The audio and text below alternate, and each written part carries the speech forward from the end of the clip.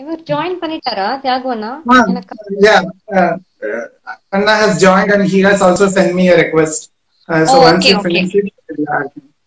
Okay okay okay fine like Thiyagarajan அண்ணா எனக்கு வந்து ஒரு டுவெண்ட்டி டூ இயர்ஸ் முன்னாடி எனக்கு தெரியும். அப்போ I was working in Paris in United India insurance company அப்போ ஆஃபீஸ் முடிஞ்சு இவங்க டிடிடிசியோட ஆர்கெஸ்ட்ரா இருந்தது. அவர் ரன் பண்ணிட்டு இருந்தார் ஆர்கெஸ்ட்ரா ஸோ அதில் எனக்கு பாட நல்ல ஒரு ஆப்பர்ச்சுனிட்டி கிடைச்சிது. அவருக்கு அவர் கூடயே எனக்கு பாடுறதுக்கு நல்ல சான்சஸ் கிடைச்சிருக்கு. அவங்க ஆர்கெஸ்ட்ராவில் நிறைய வெ வெரைட்டியான சாங்ஸ் போடுவாங்க. ரொம்ப இன்ட்ரெஸ்டிங்காக இருக்கும் பாடுறதுக்கே. ஓல்ட் அண்ட் நியூ மிக்ஸ் பண்ணி. ஆஹ் ரொம்ப nice person that I've seen so எனக்கு ரொம்ப அவங்களோட லாஸ்ட் தம்பியோட ஒய்ஃபோட சிஸ்டர்லாம் எனக்கு ரொம்ப க்ளோஸ் ஃப்ரெண்ட் எனக்கு. தாமரைன்னுட்டு. ஸோ அவங்க அக்கா பேபி அக்கா வந்து எனக்கு ரொம்ப எனக்கு ஒரு அக்கா மாதிரி. அவங்க ரொம்ப க்ளோஸ் ஃபேமிலி ஃப்ரெண்ட் எனக்கு. ரொம்ப சந்தோஷமா இருக்கு. இப்போ சங்கீதா ஜாயின் பண்ணியிருந்தாங்க அவங்க டாட்டர் ஜாயின் பண்ணியிருந்தாங்க லைவ்ல பார்த்தேன்னா. தியாகு அண்ணா welcome for this Insta singer too ரொம்ப தேங்க்ஸ் நீங்க அக்செப்ட் பண்ணி வந்ததுக்கு. தீபிகா தேங்க்ஸ் அலாட்மா ஃபார் ஹெல்பிங் அண்ட் அவங்க டாட்டர் தியாகு அண்ணாவோட டாட்டர் தீபிகாவும் ரொம்ப நல்ல சிங்கர் அழகான ஒரு வாய்ஸ் இப்போதான் நான் ரீசெண்டா கேட்டேன் அவங்களோட ரெக்கார்டிங்ஸ்லாம் ஃபேஸ்புக்கில் போட்டிருக்காங்க. யூடியூப்ல நிறைய பாடியிருக்காங்க. அவங்க நிறைய சேனல்ஸ் எல்லாம் பாடியிருக்காங்க. ஸோ தியாகு நான் ஆட் பண்ணுங்க. அவருக்காக நிறைய கொஷின்ஸ் வச்சிருக்கோம் நாங்க. He's a lot in life உங்களுக்கு ஒரு எக்ஸாம்பிள் சொல்லணும்னா இந்த சாங் ஏதேதோ கற்பனை வந்து அண்ணா பாடினது தான் ஸோ uh, இன்னும் வரைக்கும் அவரோட வாய்ஸ் வந்து அதே மாதிரி அப்போ பாடிட்டு இருந்த மாதிரி யங்கா தான் இருக்க மாதிரி எனக்கு ஒரு ஃபீலிங் இருக்கு. வாய்ஸ்ல சேஞ்சஸே தெரியல எனக்கு. Uh, Thiru please add him கண்டிப்பா மேம் அனைவருக்கும் வணக்கம் வணக்கம் வணக்கம். எப்படி அவர்களுக்கும் வணக்கம். வணக்கம் பானுரேகா அவர்களுக்கும் எனது இசை குடும்பத்தின் சார்பாக வணக்கத்தையும் இந்த இனிய நாளிலே வளர்ந்து வரக்கூடிய இசை கலைஞர்களை ஊக்குவிக்கும் வகையிலே நடத்தப்படுகிற இந்த twenty four into seven portal for talented musicians அதில் கலந்துக்கிறது உண்மையிலேயே சந்தோஷப்படுறோம். இன்றைய காலகட்டங்களில் கலைஞர்களுக்கு வளர்ந்துடக்கூடிய கலைஞர்களுக்கு இந்த மாதிரி நிறைய பிளாட்ஃபார்ம் இருக்கு. அது ரொம்ப சந்தோஷமா இருக்குது. அதை ஊக்குவிக்கிறதுன்றது ஒரு சந்தோஷமா ஏன்னா நாங்கள் நாங்க பாடின காலகட்டங்களில் இந்த மாதிரி ஒரு வாய்ப்புகள் எங்களுக்கு கிடையாது. மேடையில பாடி வெளியே தெரிஞ்சாதான் உண்டு. சேனல்ஸே கிடையாது. தூர்தர்ஷன் மட்டும்தான். சேனல்ஸ் கிடையாது. இந்த மாதிரி யூடியூபு இந்த மாதிரி விஷயங்கள்லாம் எதுவுமே இல்லை. அதனால இது ரொம்ப சந்தோஷமா இருக்கு. இதுல வந்து நிறைய பேர் நிறைய இதை பாடியிருக்காங்க. அவங்க எல்லாருக்கும் எங்கள் இசைத்தன்று திருச்சி லோகநாதன் இசை குடும்பத்தின் சார்பாக வாழ்த்துக்களை தெரிவித்துக் கொள்கிறேன். Thank you sir thank you so much before நம்ம இந்த லைவ் ஸ்டார்ட் பண்றதுக்கு முன்னாடி எஸ்பிவி சாருக்காக ஒரு ப்ரேயரோட அவரை பத்தி ஃபியூ வேர்ட்ஸ் அதோட இந்த ஷோ ஆரம்பிக்கலாம்னு நான் நினைக்கிறேன். கண்டிப்பா கண்டிப்பா. ஏன்னா பாலு அண்ணனை வந்து லைஃப்ல யாருமே மறக்க முடியாது. அத்தனை மாதிரி அத்தனை பாடல்களை கொடுத்தவர் அவர். அவர் வந்து கண்டிப்பாக பூரணம் நலம் பெற்று வந்துடுவார்ன்ற நம்பிக்கை எங்க எல்லாருக்கும் எல்லா கலைஞர்களுக்குமே இருக்கு.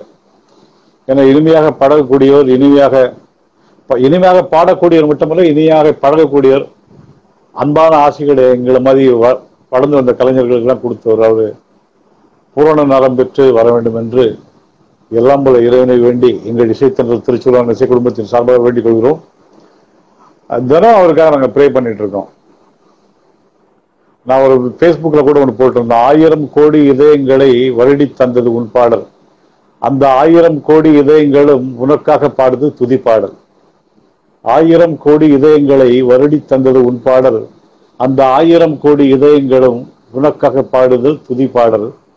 சுப்பிரமணியா சுப்பிரமணியா சண்முகநாதா சுப்பிரமணியான்னு முருகனை வேண்டிட்டு விரைவில் மீண்டு எழுந்து வா எங்கள் பாலசுப்ரமணியான்னு போட்டிருந்தேன். உண்மையிலே பெரிய கலைஞர். அவரை மாதிரி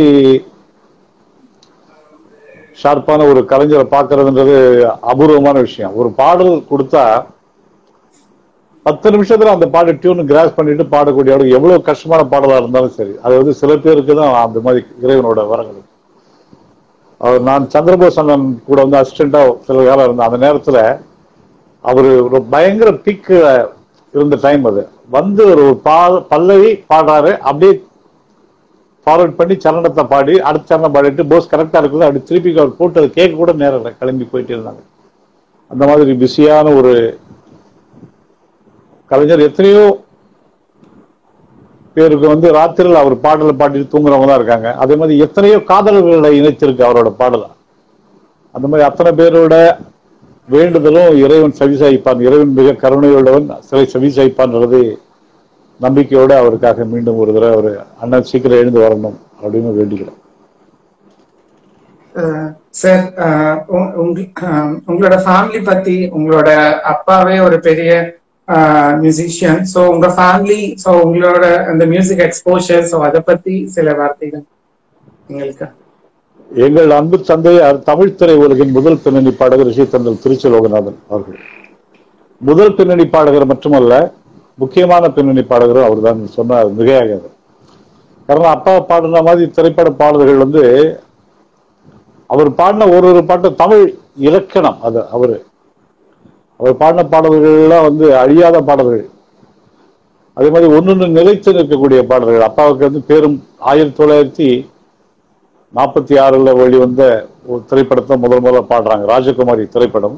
அது வந்து திரு நம்பியார் அவர்களுக்காக பாடியிருப்பார். அப்பா காசினி மேல் நாங்கள் வாழ்வதே சுக வாழ்வுதான் கவலை இல்லாமல் மனம் கலங்காமல் ஆசையில் பேராசையினாலே மனம் வாடிடும். அறிவு கெடாமல் நெறி தவறாமல் காசினி மேல் நாங்கள் வாழ்வதே சுக வாழ்வுதான் இந்த பாடலை. அவர் நாற்பத்தி ஆறுல வந்தது. அதுக்கப்புறம் அபிமன்யுன்னு ஒரு திரைப்படம். அந்த திரைப்படத்துல ஒரு பெரிய விஷயம் இருக்குது என்னன்னா சுபையா நாயுடு அந்த பா- திரைப்படத்துக்கு இசையமைப்பாளர். அவர் வந்து ஒரு பாட்டு கொடுத்துருக்காங்க. அவர் கம்போஸ் பண்ணாம அந்த பே- முதல்ல கம்போஸ் பண்ண ஆரம்பிச்சுட்டு அந்த பேப்பரை ஆறுமணி பெட்டி மேல வச்சுட்டு வெளியே போயிடுறாரு. அப்போ அங்கே வந்து அந்த கம்பெனில வந்து வாட்டர் பாய் அண்ணன் எம் எஸ் விஸ்வநாதன் தான் அங்க இருக்காரு. அவர் என்ன பண்ணிருக்காரு அந்த பேப்பர் எடுத்து வச்சு அவர் கம்போஸ் பண்றாரு. பாட்டை கம்போஸ் பண்ண உடனே வெளியே போன சுபையா நாயுடு வெளியே உள்ள வந்தோடனே என்னடா பண்ற அப்படின்னு கேட்டிருக்காரு. இவர் பயந்து போய் ஒண்ணு இல்லை ஒண்ணு இல்லை இல்ல என்ன பண்ண பாடு அப்படின்னு இருக்காரு. இவர் இந்த டியூனை பாடணும் இந்த டியூன் ரொம்ப அருமையா இருக்கு. நாளைக்கு வந்து ஒரு திருச்சியில் ஒன்றாந்ததும் வேற யாரோ ஒரு பாடம் இருந்துச்சு. அவங்க ரெண்டு பேரும் வராங்க அவங்களுக்கு இந்த பாட்டை சொல்லி கொடுத்துரு ஆனா நீ பண்ணேன்னு சொல்லாத அப்படின்ட்டாராம். சரி சொல்லி ஒரு எம்எஸ்வி வந்து உடனே மறுநாள் மறுநாள் வந்திருக்காங்க அப்பா வந்தோன்னா பாடினோம்னா அந்த பாடல் வந்து பட்டி தொட்டியெல்லாம் ரொம்ப பிரபலியம். புது வசந்தமாமே வாழ்விலே இனி இனிதாய் மனமே பெறுவோமே. புது வசந்தமாமே வாழ்விலே இனி இனிதாய் மனமே பெறுவோமே. இந்த பாடலை அவர் எம்எஸ்சி வந்து நினைச்சிருக்காரு என்ன நம்ம பாட்டியும் பண்ணோம் நம்ம பண்ணோம் சொல்ல வாடா சொல்லிட்டாருன்னு சொல்லிட்டு சொல்லியிருக்காரு. அப்படின்னு நினைச்சிருக்காரு. ஆனா அந்த பாட்டு வந்து வெளியே வந்து ரொம்ப பட்டி தொட்டிலாம் பிரபலமானதுக்கு அப்புறம் சுபையா நாயுடு வந்து அந்த ப்ரொடியூசர்கிட்ட கூப்பிட்டு சொல்லியிருக்காரு இந்த பாடலோட வெற்றிக்கு இந்த பா இந்த படத்தோட வெற்றிக்கு இந்த பாடலும் ஒரு முக்கியமான காரணம். ஆனா இந்த பாட்டு வந்து நான் பண்ணல. விஸ்வநாதன் தான் பண்ணதான் நான் அதை அப்பவே சொல்லியிருந்தா வேணாம் வேணாம் அந்த டியூன் நல்லா இல்லை வேற டியூன் போடுங்கன்னு சொல்லியிருப்பீங்க. அது அவனுக்கு என்கரேஜா இருக்காது. அதனால தான் நான் அந்த காலத்துல சொல்லலைன்னு சொன்னார். இது வந்து எம்எஸ்வி அவர்களே பல மேடைகளில் சொல்லியிருக்காரு. அதே மாதிரி விஸ்வநாதன் பண்ண முதல் முதல்ல பா- பா டியூனை பாடினது அண்ணன் லோகநாதன் தான். அது பெரிய எனக்கு ஒரு ராசியா அமைஞ்சது எம்எஸ்வி வந்து சொன்னார். அதற்கு பிறகு வந்த திரைப்படங்களில் நிறைய பாடல் பண்ண கூட ஆயிரத்தி தொள்ளாயிரத்தி நாற்பத்தி ஐம்பது ஐம்பது ஏழு வெளி வந்த மந்திரி குமாரி திரைப்படம்.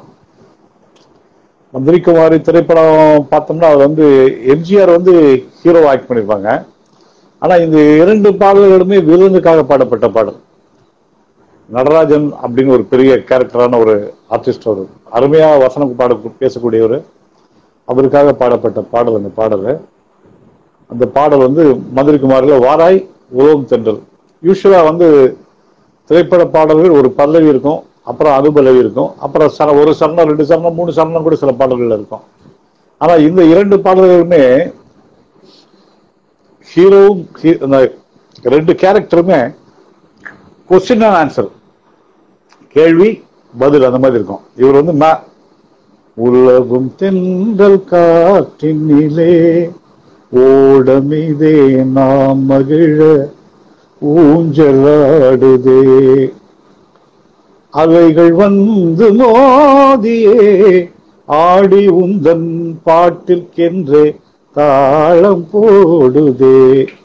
அலைகள் வந்து மோதியே ஆடி உந்தன் பாட்டிற்கென்றே தாழம் போடுதே. உயர்ந்த மலையும் உமது அன்பின் உயர்வை காட்டுதே. உயர்ந்த மலையும் உமது அன்பின் உயர்வை காட்டுதே. இதயம் அந்த மலைக்கு ஏது அன்பை காட்டவே. இதயம் அந்த மலைக்கு ஏது? அன்பை காட்டவே. தெளிந்த நீரை போல தூய காதல் கொண்டோம் நாம். தெளிந்த நீரை போல தூய காதல் கொண்டோம் நாம். களங்கம் மதிலும் காணுவாய் கவனம் வைத்தே பார். புதர்க்கம் பேசி என்னை மயக்க எங்கு கற்றீரோ. உனது கடை கண் பார்வை காட்டும் பாடமுதலே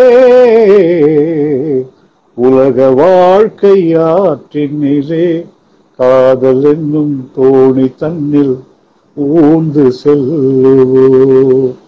அந்த மாதிரி ஒரு கொஸ்டின் ஆன்சராக இருக்கும்.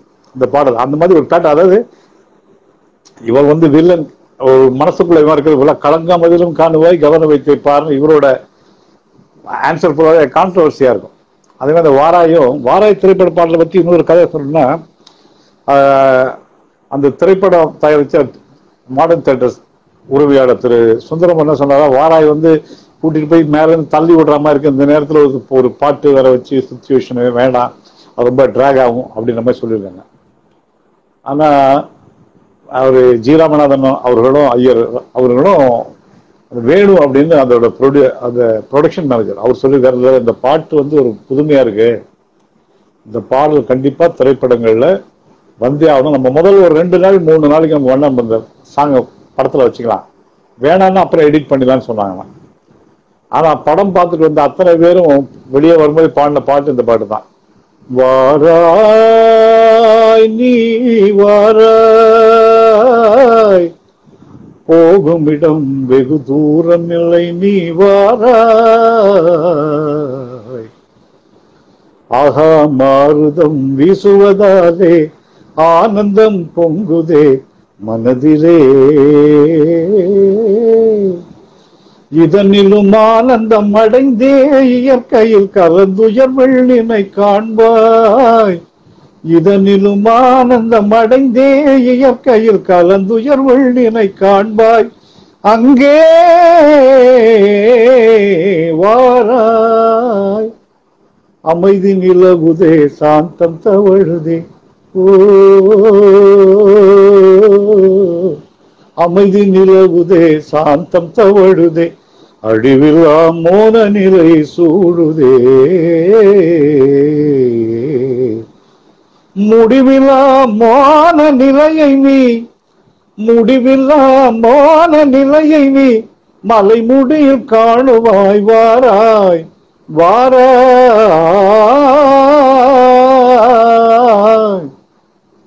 ஈடில்லா அழகை சிகரம் இதிலே கண்டு இன்பமே கொள்வோ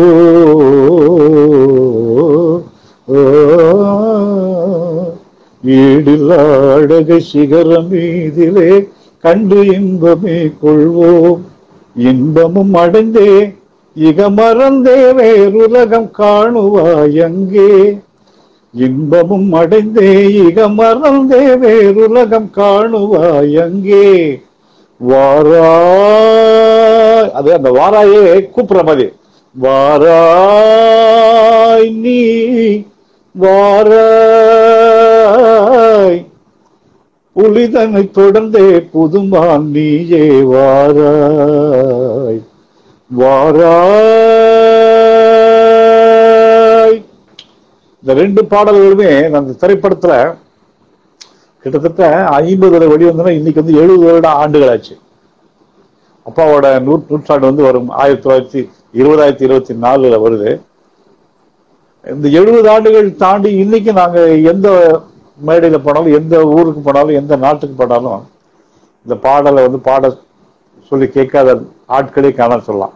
அதே மாதிரி அந்த காலகட்டங்களில் வந்து ஒன்லி திருமண நிகழ்ச்சிகள் கோயிலில் தான் வந்து இந்த சிடி ரேடியோலாம் போடுவாங்க. ஆனால் இந்த பாட்டை கேட்கறதுக்குன்னு அந்த காலம் நைட் ஷோ படத்தில் பார்த்தீங்கன்னா தேட்டர் வந்து டென்ட் கொட்ட மாதிரி தான் இருந்திருக்கும். அப்போ வந்து ஈவினிங் ஷோக்கு அப்புறம் பார்த்தீங்கன்னா அந்த காற்று வரதுக்காக அந்த கதவெல்லாம் திறந்து வச்சிருப்பாங்க.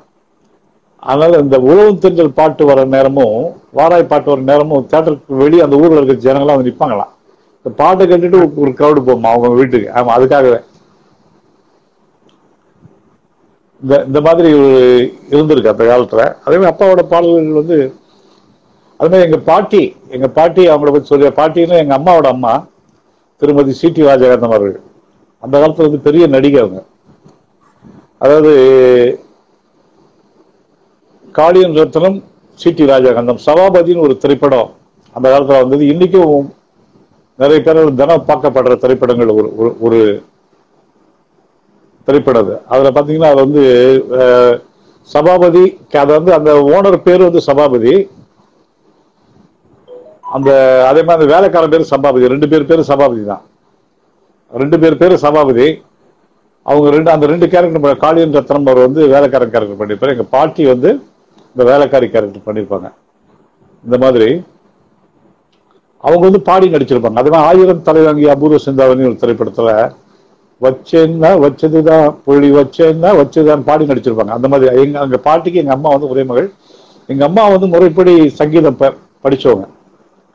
அப்பா வந்து ஆயிரத்தி தொள்ளாயிரத்தி நாற்பத்தி ஒன்பதுல ஜூன் ஒன்றாம் தேதி அஞ்சு நாள் கல்யாணமா? அப்பா அம்மா சேலத்தில் நடந்தது.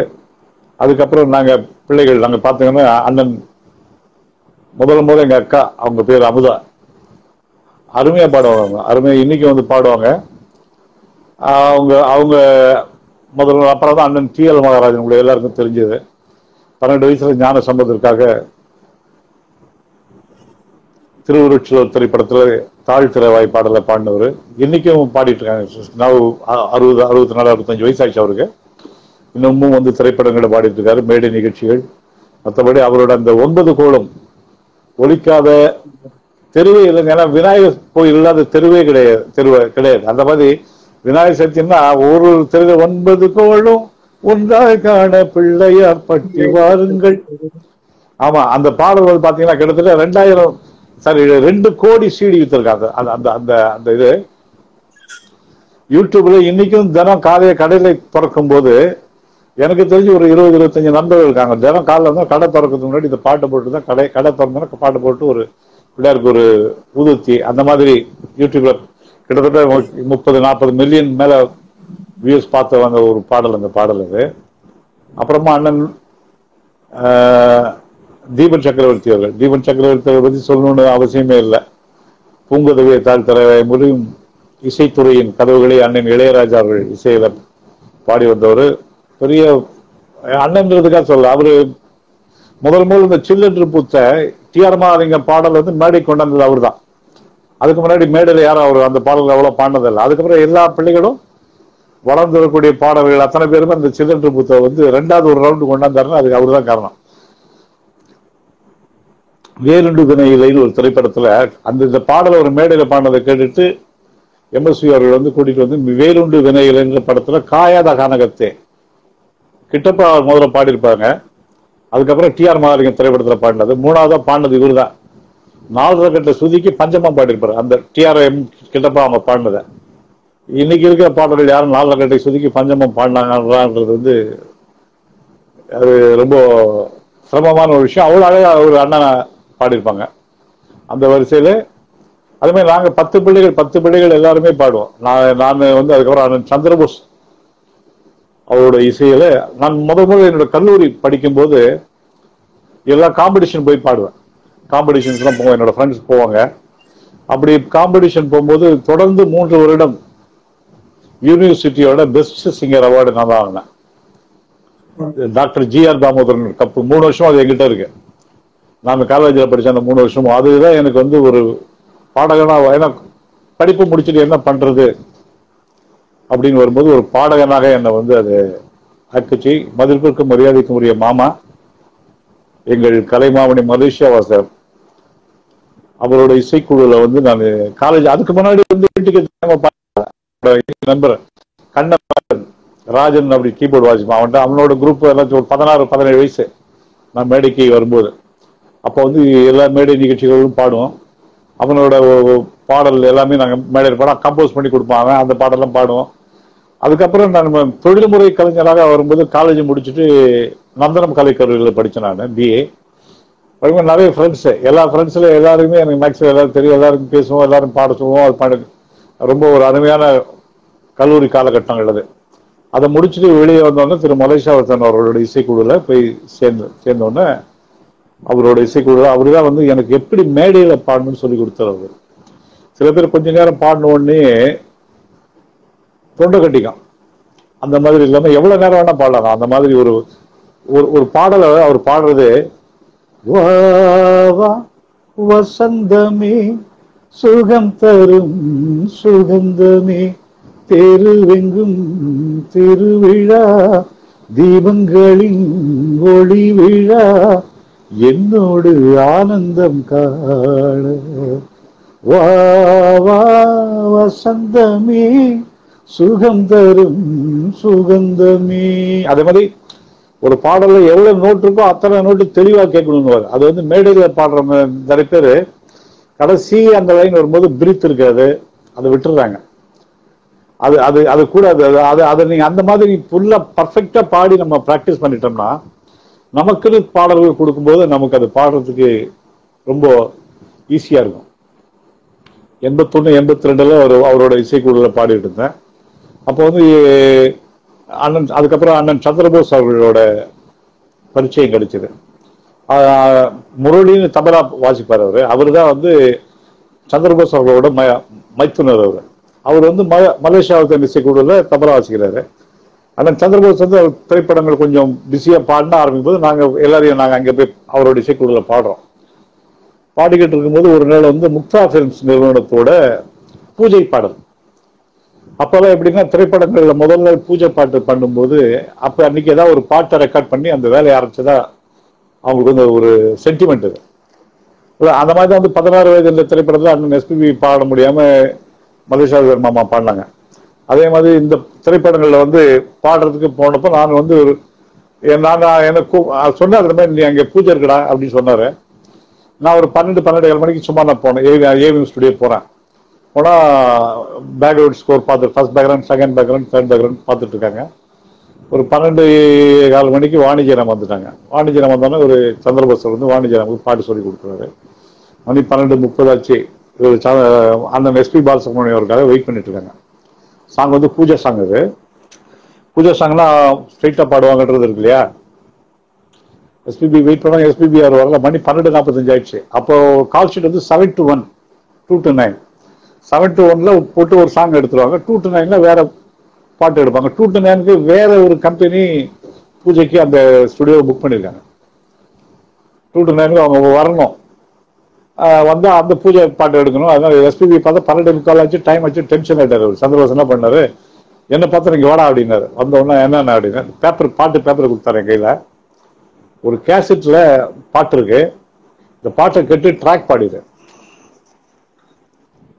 இந்த பாட்டை வந்து கேட்டு ட்ராக் பாடு அப்படின்றாரு. எனக்கு ஒரு பாட்டு சொல்லி கொடுக்கல ஒன்றும் கிடையாது. எனக்கு என்னடா பத்து நிமிஷம் தான் இருக்கு சொல்லிட்டு பேக்ரவுண்டு செக் பண்ணுங்க அப்படின்ட்டாங்க. வாணிமா வந்து ஃபேட்டர் போட்டு உட்காந்துட்டா இதுக்கு ஒரு மைக் பொசிஷன் விட்டாங்க. நான் இப்போ வந்து பாட்டை போட்டு கேட்குறேன். ஏன்னா என்ன இருந்தாலும் ஒரு திடீர்னு கூப்பிட்டு பாடுன்னு சொன்ன உடனே புது புது பாடலில் பாடும்போது ஒரு படம் படப்பு இருக்குல்ல நான் வந்து அது சரி ரைட்டு பாட சொல்லாங்க பாடுன்னு சொல்லி அந்த இதை வந்து ஒரு தடவை கேட்டேன். ரெண்டாவது தடவை கேட்டேன். ரெண்டாவது தடவை கேட்டதுக்குள்ள வித் வாய்ஸ் அப்படின்ட்டாங்க வித் வாய்ஸ் வாணிமா ரெடியாக இருக்காங்க ஆல்ரெடி ஏன்னா அவங்க பெரிய ஜெயண்ட் அவங்க ஒரு பாட்டு கொடுத்தா மேலே அப்படியே நோட்ஸ் எழுதிட்டு பாடிட்டு போயிட்டே இருப்பாங்க. வாணியமாக மற்ற பாடல்களோட அவங்க வந்து மேலே நோட்ஸ் எழுதிட்டாங்கன்னா என்ன எழுதினாலும் அதை பாடுவாங்க. அந்த மாதிரி ஒரு திரைமொழி ஒரு பெரிய பாடகி அந்தம்மா அப்புறம் அந்த மாட்டை அந்த மாதிரி ஏற்கனவே நான் பார்த்துருக்கேன். எனக்கு தெரியும் எனக்கு உங்களை. பண்ணப்போ அது அவங்க சொன்னாங்க நல்லா தைரியமாக பாடு. ராகு அப்படின்னாங்க. அம்மா அப்படின்னா நல்லா தைரியமாக பாடுங்க. நல்லா பாடுவீங்க அப்படின்னு ஆசீர்வாதம் பண்ணாங்க. ஃபர்ஸ்ட் பேக்ரவுண்ட் ஓப்பனிங் நான் தான். என்னோட வாய்ஸ் தான். பாட்டு போட்டோன்னு பேக்ரவுண்ட் முடிஞ்சோடனே கோவர்த்தன மாஸ்டர் வந்து அசிஸ்டண்டாக இருக்கார். சைன் பண்ணுறாரு எனக்கு. எனக்கு எவ்வளோ பார் பேக்ரவுண்ட் கூட தெரியாது. மாஸ்டர் மாஸ்டர் எனக்கு கொஞ்சம் சைன் பண்ணுங்க மாஸ்டர் நாலு பார் முன்னாடி. பார்த்துட்டு இருக்கேன். சைன் பண்ண அந்த பாட்டு. தேடும் என் காதல் பெண் பாவை சூடும் உன் மார்பில் பொன்மாலை காதோரமே எங்கி தாஞ்சலி பனி தாங்கும் மலர் மேடை கனி தாங்குமோ இது மேலாடை கொடியேற்றும் அரசாங்கமோ? தேடும் என் காதல் பெண் பாவை கோவில் இங்கு தீபம் எங்கள் இரவும் ஏங்கும் நேரம். கோவில் இங்கு தீபம் எங்கள் இரவும் ஏங்கும் நேரம்.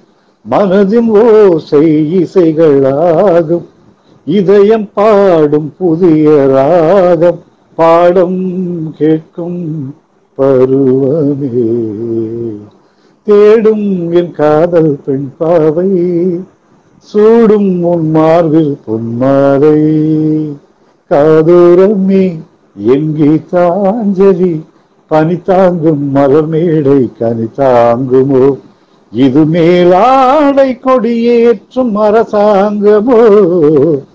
தேடும் என் காதல் பெண் பாவை என்னோட இம்ப்ரூவைசேஷன்லாம் சேர்த்து அப்போ வந்து எண்பதுலாம் அவரோட எஸ்பிபியோட பாடல்கள் ஜேஎஸ்எஸ் பாடல்கள்லாம் நான் மேடையில் பாடுவேன். ஒரு மலேசியாவில் வந்து அவரோட பாடம் மட்டும் பாடுவார். அப்போ ஒரு மாதம் முப்பது நாள்னா நாற்பது கச்சேரி பண்ண காலகட்டம்லாம் உண்டு. அப்போ வந்து இந்த டிவி சேனல்ஸ்லாம் கிடையாது. அது பாடின உடனே முதல் தடவை பாடினா நம்ம தேவாவோட தம்பி சபேசன் தான் அவர் கீபோர்டு வச்சுக்கிறாரு. அவர் உடனே உடனே ஒன் மோர் டேக் ஆடினாங்க. உடனே உள்ள அந்த தியாகு ரொம்ப பிரமாதமாக இருக்கு.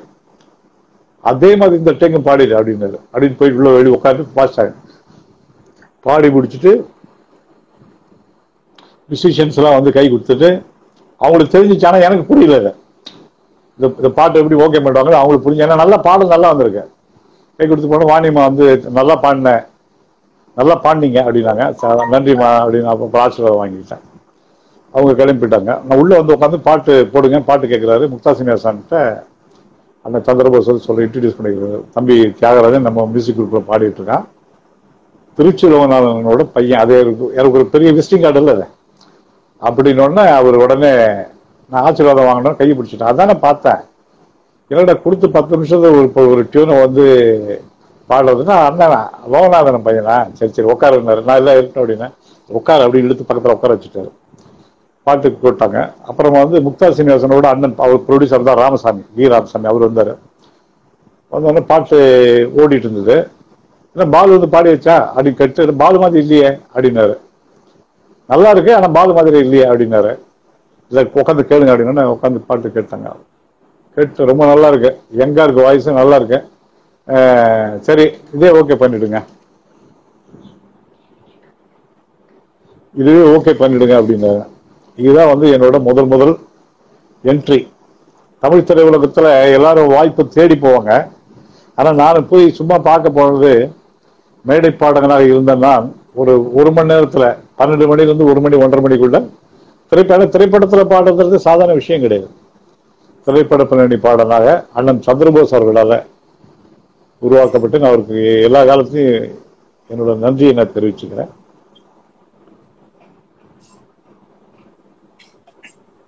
கண்டிப்பா சார். அதுக்கப்புறமா நீங்க டான்ஸ் ட்ராமாலாம் நிறைய பண்ணிருக்கீங்க. சோ அத பத்தி அது அதோட எக்ஸ்பீரியன்ஸ் அண்ட் அதோட மெமரிஸ் இல்ல டான்ஸ் ட்ராமா வந்து அதுக்கப்புறம் இப்ப சமீப காலங்களில் பண்ணது. அதுக்கப்புறம் அவர் சந்திரபோஸ் அவர்கள் இசையில நிறைய பாடல்கள் பாடினார். நான் இந்த வாய் கொழுப்புன்னு ஒரு திரைப்படம் வந்துச்சு. வாய் கொழுப்பு திரைப்படம். அந்த திரைப்படத்தில் பார்த்தீங்கன்னா சகோதரி லலிதா சாகோதரி அவங்களோட நான் இணைஞ்சு பாடின பாடல் ரொம்ப பிரபலமாச்சு. பாண்டியராஜன் அவர்களுக்காக ஏதேதோ கற்பனை வந்து என்னை அழைக்கிறதே எங்கேயோ விண்ணில் பறக்க ரெக்கை முளைக்கிறது கண்களிலே கைகளிலே காதலிதாவணி மோதிய போது ஏதேதோ கற்பனை வந்து என்னை அழைக்கிறதே. இந்த பாடல். அப்புறம் வரவேட்ட நான் செலவு பத்திரம் ஒரு படம் அது நாசர் ஆக்ட் பண்ணிப்பாரு. வி சேகர் இயக்கத்தில் வந்து சக்சஸ்ஃபுல் படம். அதுல வந்து பீச்சில் பாடுற மாதிரி ஒரு பாடல் இருக்கும். சொன்ன அந்த கண்ணதாசம் பாட்டுல நல்ல செய்தி அது தேவை இப்ப நாட்டுல. வரவுதா எட்டனா? நீங்க செய்யும் செலவு மட்டும் பத்தனா? தாங்குமா மீட்டரு? நீங்க உங்க இஷ்டம் போல சுத்துனா இந்த பாடல் அது எல்லாருமே முதல் குரல்னு ஒரு படம் சிவாஜி நானும் ஒரு மலேசியாவசன் மாமாவும் பாண்டது சிவாஜி ஐயா அவர்கள் வந்து இவரு மலேசியாவசன் பாடியிருப்பார். நான் வந்து அர்ஜுன் அவர்களுக்காக வேட்டக்காரன் நானே வேலை காட்ட போறேன் பத்து கடி கண்ணு தம்மா துண்டு ஆட கட்டி ஆடுறியே காத்தானே? ஒரு ஃபோக் சாங் அது மாதிரி நிறைய கிட்டத்தட்ட ஒரு இருபத்தைந்து முப்பது பாடல்கள் ஒரு சந்திரபோஸ் நூறு படம் பண்ணாங்கன்னா எனக்கு ஒரு இருபத்தைந்து முப்பது பாடல்கள் மேலே அவர் பாட வச்சார். அது எல்லாமே நான் பா- சொல்றாரு என்கிட்ட எல்லாமே எனக்கு வந்து ஹீரோக்கு தான் பாட வச்சார். அது சொல்றாரு உன்னோட வாய்ஸ் ஹீரோ வாய்ஸ்ரா பார்த்தீங்கன்னா அர்ஜுனுக்கு அது மாதிரி அவர் முரளி அவர்களுக்கு பாண்டியராஜன் அவர்களுக்கு அது மாதிரி ராஜேஷ் அவர்களுக்கு வந்து நானும் வாணி மக்களும் இணைந்து ஒரு பாட்டு பாடிப்போம். என்ன சொல்ல? உதடு துடிக்குது உண்மை சொல்ல. மன்னவனே மாலையிட்டாய். வேலியினால் ஆணையிட்டாய். வந்து விட்டாய் உன்னை எழுதி தந்து விட்டாய் என்ன சொல்ல? உதடு துடிக்கிறது உண்மை சொல்ல. இந்த மாதிரி அதற்கப்புறம் திரைப்பட பாடல்கள் நடுவில் மேடை நிகழ்ச்சிகள் நிறைய.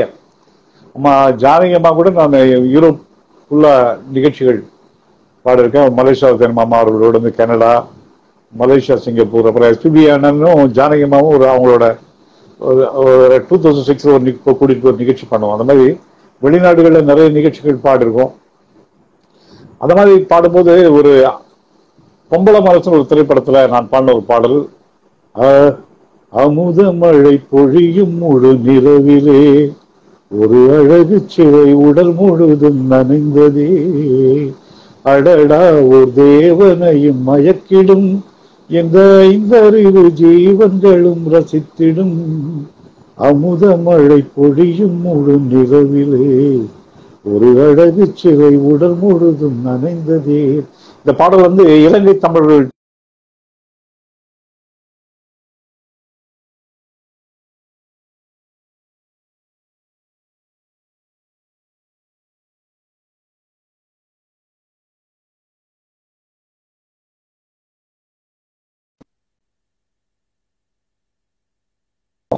அது மாதிரி மேடை மேடையில் நடக்கிற இந்த நாட்டிய நாடகம் சொன்னீங்க நீங்க இல்லையா? இந்த நாட்டிய நாடகம் மலேசியாவில் வந்து இந்திரா மாணிக்கம்னு ஒரு டீச்சர் ஒருத்தவங்க இருக்காங்க. அவங்களுக்காக நாலு மேடை நா- நாட்டிய நாடகம். முதல் முதல் ஐயப்பன் சரித்திரம் அப்படின்னு ஒரு அதை வந்து கவிஞர் ஆத்மநாதன் பெரியப்பா அவர் பெரியப்பான்னு தான் கூப்பிடுவேன். இந்த விண்ணோடும் முகிலோடும் பாட்டு எழு- எழுதுறவர் விண்ணோடும் முகிலோடு விளையாடும் விண்ணிலவே. அந்த பாடல் எழுதுறவர் அவர் வந்து எழுதி கொடுத்தாங்க. அப்புறம் ரெண்டாவது நாட்டிய நாடகம் வந்து அண்ணன் காமகோடியன். சிவதாண்டவம்னு ஒரு நாட்டிய நாடகம் பண்ணோம். அது வந்து அண்ணன் காமகோடியன் அவங்க எழுதி கொடுத்தாங்க. மூணாவது நாட்டிய நாடகம் வந்து வள்ளி திருமணம். இப்போ சமீபத்தில் வந்து திலாநாமம் நம்ம ரெண்டுமே பண்ணோம். அதுக்கு வந்து வள்ளி திருமணத்துக்கு எனக்கு அவங்க கொடுக்கப்பட்ட நேரம் எனக்கு ஒரு வாரத்தில் வேணும் அப்படின்னாங்க. ஏன்னா நம்ம ஒரு கவிஞரை கொடுத்தா அவங்களோட ஒரு இருபத்தஞ்சி முப்பது பாடல் வரும் ஒரு நாட்டிய நாடகத்துக்கு. ஒன்றே கால் மணி நேரம் வந்தால் கூட பெரிய பாடல் இருக்கும். அவை குட்டி குட்டி பாடல் தான் இருக்கும். அப்படி இருக்கும்போது அவங்க எழுதி கொடுத்து பாடத்துக்கு எழுதி வாங்கி அதுக்கப்புறம் டியூனை போட்டு அதுக்கப்புறம் பேக்ரவுண்ட் ஸ்கோர் எழுதி அப்புறம் தேட்டரில் போய் எல்லாரையும் பாட வச்சு பண்ணுறதுன்னு ரொம்ப சிரமமான காரியமாக ஒரு பத்து நாளுக்குள்ளே பண்ணணும்னாங்க அவங்க. அப்புறம் அது நேரம் இல்லாத காரணத்தில் அப்புறம் நானே உட்காந்து எழுத ட்ரை பண்ணேன். அது ரொம்ப அருமையாக வந்துச்சு அந்த வெள்ளித்திரமண நாட்டிய நாடகமும் இந்த தில்லானாமரம் நான் தான் எழுதினேன். ஒரு முருகனோட புகழ் பாடணும். அது வந்து முதல்ல முருகனை பத்தி பாடிட்டு அப்புறம் மயில் டான்ஸு ஏன்னா நாட்டிய நாடகன்றதால மயில் டான்ஸு பாம்பு டான்ஸு குதிரை டான்ஸ் ஆடுது அப்புறம் காவடி ஆட்டம் அந்த மாதிரி சொன்னாங்க. அதனால முதல்ல உட்காந்து ஒரு பாடலை எழுதிட்டு அப்புறம் அதுக்கு சண்முகப்பிரியா ராகத்தில் ராகத்துல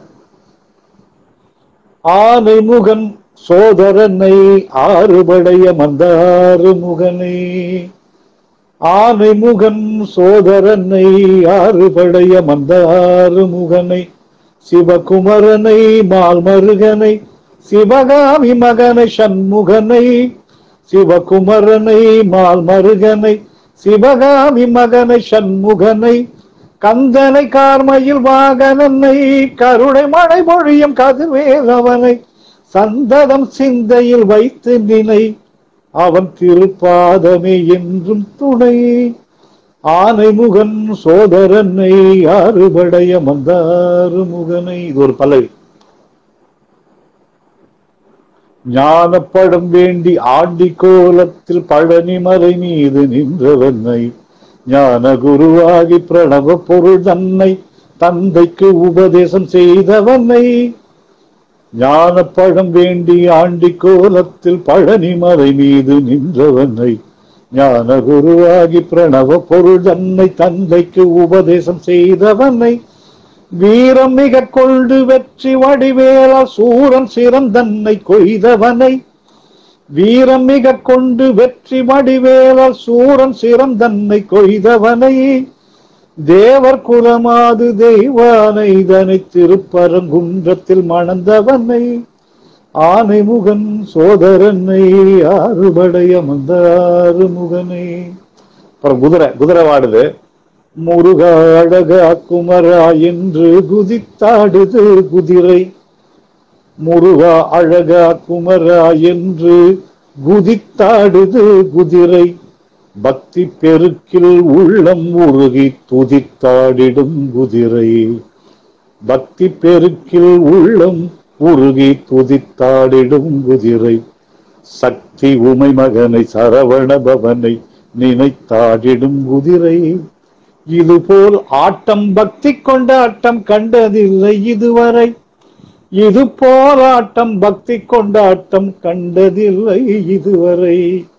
அப்புறம் பாம்புக்கு வந்து அத்தன் நிறுத்தனின் நெற்றியில் உதித்த ஆறுமுகன் ஏறுமையில் கால்களில் பற்றிய நெடிய கருநாகம் சுடன்றாடுவது படுவேகம். அத்தன் நிறுத்தனின் நெற்றியில் உதித்த ஆறுமுகன் ஏறுமையில் கால்களில் பற்றிய நெடிய கருநாகம் சுடன்றாடுவது படுவேகம். வேறவன் முருகனை மாதவன் மருகனை மனதில் துதித்தே ஆடுது. வேலவன் முருகனை மாதவன் மருகனை மனது துதித்தே ஆடுது. ஆடும் வேகத்தில் வரும் மூச்சு காற்றும் முருகன் புகழை பாடுது. முடிச்சான் ஆடும் வேகத்தில் வரும் மூச்சு காற்றும் முருகன் புகழை பாடுதுன்னு அவர் எழுதி அவங்க ப்ரொடியூசர் காமிச்சாங்க சார் ரொம்ப அருமையா இருக்கு சார். நீங்களே எழுதிருங்க சார் அப்படின்னாங்க அதுக்கப்புறம் வள்ளியும் தெய்வானையும் சண்டை போட்டுக்கிற மாதிரி டான்ஸ் டாமா அது அவங்க என்ன பண்ணாங்க? அந்த மாதிரி சுச்சுவேஷன் தான் ரெண்டு பேரும் நாங்கள் ஆட வச்சு அதை ஹைலைட் பண்ணுவோம் அப்படின்னாங்க. அதுக்கு வந்து தெய்வானை வந்து சொல்கிறான் தெய்வானை வந்து தேவேந்திரனோட மகள். பட் உட்காந்து படித்தேன் நான். படித்து அந்த பதினஞ்சு நாள் விரதம் இருந்து ஏன்னா முருகனை பற்றி பாடல் வந்து எழுதுறது டான்ஸ் அம்மா பாடுறது பெரிய விஷயம். அதுக்கு மியூசிக் பண்ணுறோம் பாடுறோம். ப்ளஸ் எழுதுறது வேற வேற வேற அடிஷ்னலாக அது வந்து தெய்வான சொல்றா. சொர்க்காபுரி என் தாய்நாடு சொக்க தங்கம் என் வீடு. அமரர் குலத்தலைவன் என் தந்தை இதை அறியாத மங்கை நீ பேதை. அறியாத மங்கை நீ பேதை. அப்படின்னு அதுக்கு அவ வள்ளி பதில சொக்க வைக்கும் என் பேரழகிற்கு சொர்க்காபுரி ஈடாகுமா? சொக்க வைக்கும் என் பேரழகிற்கு சொர்க்காபுரி ஈடாகுமா? சொக்கன் மகனே சொக்கி போனான். என்று நான் சொல்லவும் வேண்டுமா? என்று நான் சொல்லவும் வேண்டுமா? இந்த மாதிரி பாடல் அதுக்குள்ள ஏன்னா இவ்வளவு வருஷம் நாலு பதி வருடம் நம்ம பாடினது அந்த பாடல்கள் நிறைய பாடல்கள் கேட்ட அந்த அனுபவங்கள் வந்து நமக்கு வந்து அது சிறப்பாக அவர் கை கொடுத்துச்சு. அந்த பாடல் அதுக்கப்புறம் வந்து சமீபத்தில் சமீபத்துல திருவண்ணாமலை நம்பர்கள் அவர் வந்து க- கவிஞர் கண்ணதாசன் அவரு அவர் அவர் பெரிய சிகரம். அவர் எழுதுனது வந்து பார்த்தீங்கன்னா மறைந்திருந்து பார்க்கும் மர்மம் என்ன? அழகர் மலை அழகா? இந்த சிலை அழகா அப்படி எழுதிப்பாரு. நான் என்ன பண்ணிட்டேன் ஃபர்ஸ்ட் வந்து அது அது அழகர் மலை அழகா? இந்த சிலை அழகான்னு பாடியிருப்பாங்க. அதை நம்ம என்ன பண்ணோம் ஓங்கார இசை கெட்டு மயங்கினேன் அப்படின்னு வார்த்தை. ஃபர்ஸ்ட் பல்லவி. ஓங்கார இசை கேட்டு மயங்கினேன். அந்த சிங்கார வேலன் மாமன் சன்னதியில். இது ஃபுல்லா என்னோட மகள் பாடலாம் அந்த போர்ஷன் ஃபுல்லா நம்மளோட டான்ஸ் நம்மளோட அந்த திராணாமங்களோட போர்ஷன் கூட என்னோட மகள் தீபிகா தியாகராஜன் பாடினாங்க. அவர் தம்பி சங்கர் சங்கர்ராஜ் அவர் பாடுவார் அவரும் பாட வச்சோம். பாபு தம்பி பாபு லோகநாதன் மலேசியா இருக்காரு. அவர் தான் என்னோட கோஆர்டினேட்டர் இந்த எல்லா நிகழ்ச்சிகளுக்கும். அவர் அவரோட அவர் வந்து ஒரு கேரக்டர் பண்ணாங்க. அந்த மாதிரி ஓங்கார இசை கேட்டு மயங்கினே அந்த சிங்கார வேலன் மாமன் சன்னதியில் அவன் சங்கீதம் என் காதில் ரீங்காரமிட்டதடி அங்கமெல்லாம் சிறுக்க செய்ததடி.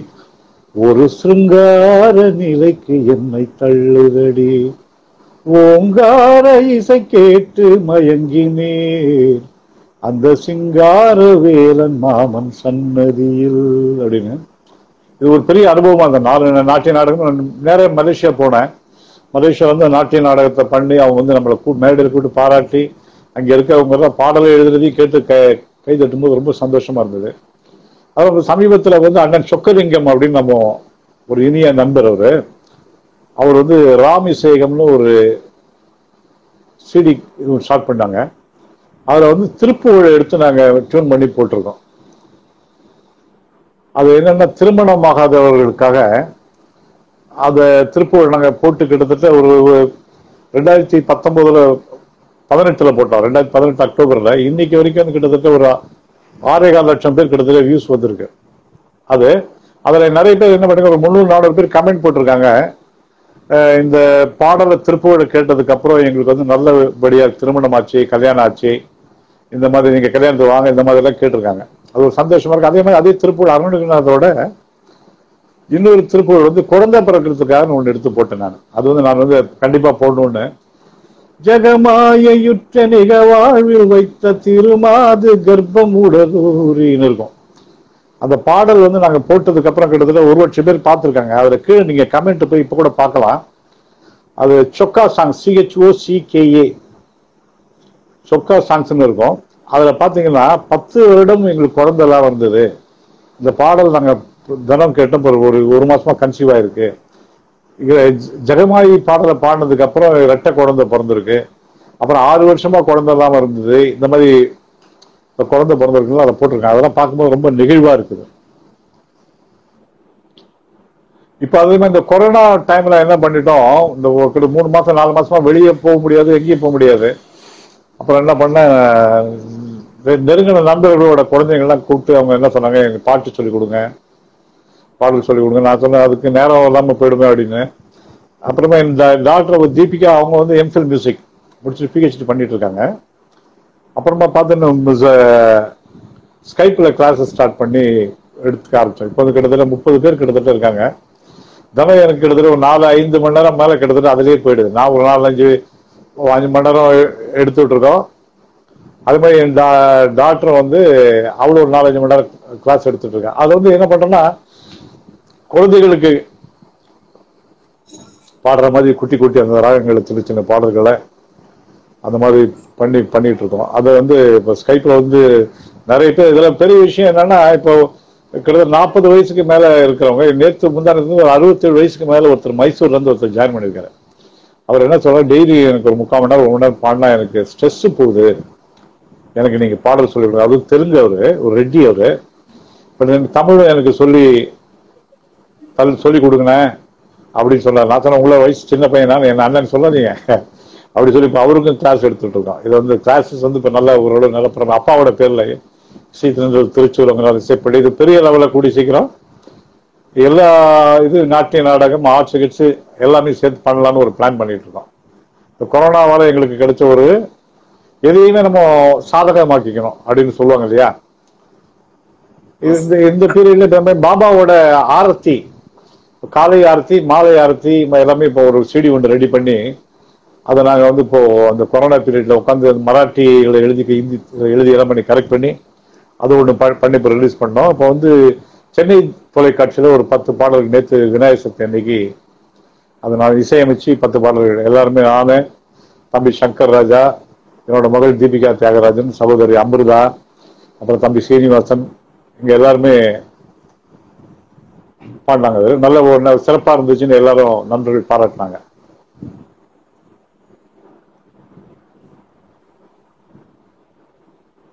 ஓகே சார் uh, இன்னைக்கு uh, நீங்க எங்களுக்கு கண்டஸ்டன்ட் பாடினதெல்லாம் கேட்டிருப்பீங்க. சோ அவங்க எப்படி பாடினாங்க எல்லாரும்? இல்ல ரொம்ப நாளா ரொம்ப நாளா பாடிருக்காங்க. ரொம்ப நாளா பாடிருக்காங்க.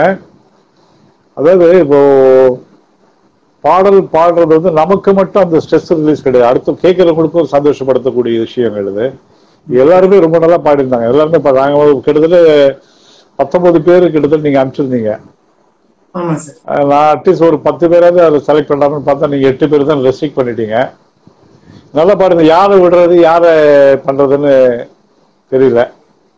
அந்த மாதிரி எல்லாம் இருந்தாங்க. இதெல்லாம் ஒரு ஒரு சில பாடல்களை இப்போ ஒரு- ஒரு ஒரு விஷயம் சொல்ல பாருங்க. இப்போ வந்து நீங்க இதை எடுத்து கொடுத்தது சி. எஸ். ஜெயராமன் பாடல்கள் அப்பா பாடல் ஜானகிமா பாடல் சொல்றீங்க. ஆனால் இப்போ பேஸ் வாய்ஸ் பாடுற வந்து இந்த பாடல்கள் பாடுறது கொஞ்சம் சிரமமா இருக்கும். அதனால இந்த பாடலை பாடாத சரியா அவங்க ஓரளவுக்கு மார்க் கம்மியாக வாங்கிட்டாங்கன்றதுனால அவங்க திறமையான பாடல்கள் இல்லைன்ற அர்த்தம் கிடையாது. அந்தந்த வாய்ஸ்க்கு ஏற்ற மாதிரி அவங்க உங்களுக்கு பாடல்கள் அமையும் போது அது வந்து வெளியே ரொம்ப அவங்க சக்சஸ் ஆயிடுறாங்க.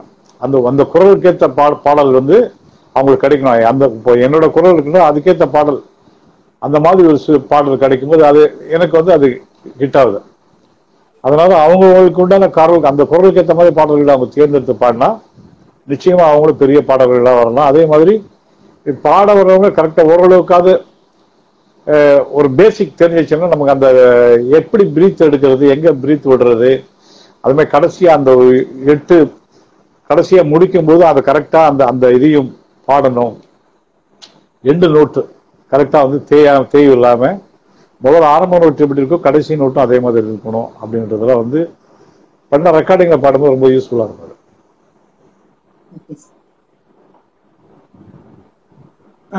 சார் ஒரே ஒரு நிமிஷம். இன்ஸ்டாகிராம்ல வந்து ஒன் ஹவர் தான் லைவ் போக முடியும். சோ அதனால நான் இதை கட் பண்ணிட்டு உடனடியா இன்னொரு லைவ் உங்களை ஆட் பண்றேன் சார் அதுல. ஒரு ரெண்டு நிமிஷம் சொல்லிடலாமே